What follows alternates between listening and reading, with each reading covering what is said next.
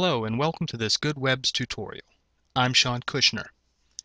This tutorial will show you how to create a filter that will let you track the page rank of keywords people use to find your website. What are keywords? Keywords are the words or phrases that people type into the Google search box to find something they're looking for. If a user is looking for new tires, he might type in lowest price tires DC you can see from the search that there are over 5 million displayed results for our search for the lowest price tires. The search results are displayed instantaneously and are based on what Google believes are the most relevant websites to our search terms. Keep in mind that most people never leave the first page. That's why it's extremely important to not only know the keywords people use to find our website, but to also know the page rank for those keywords.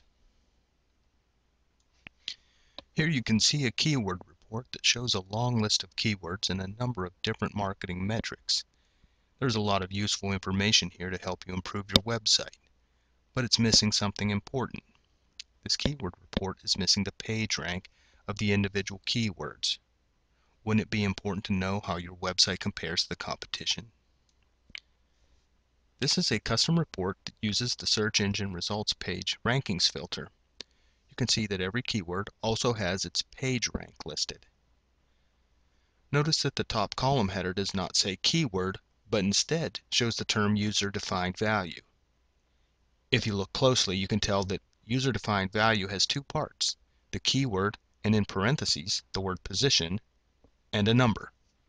That number is the page rank of the keyword on the search engine results page. Go into your Google Analytics account. You're going to want to click the Admin button. Then once you're there, you'll want to hit the Filters tab. You're going to create a new filter by hitting plus new filter. And now it's time to create the filter. We're going to name this Search Engine Results Pages Rankings or SERPs Rankings.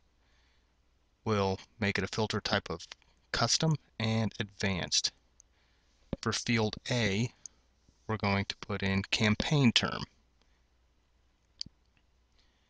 And that's just simply a dot star, which means grab everything. For field B, we're going to call that referral. And it's a long regular expression, so we'll just cut and paste that from the blog.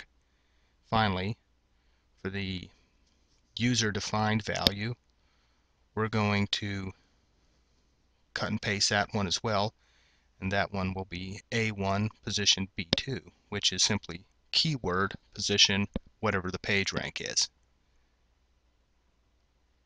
Finally we'll set field A, field B and override to yes which means we require those and we don't care that it's case sensitive so we can leave that at no. Save it. Congratulations You've created a search engine results page rankings filter.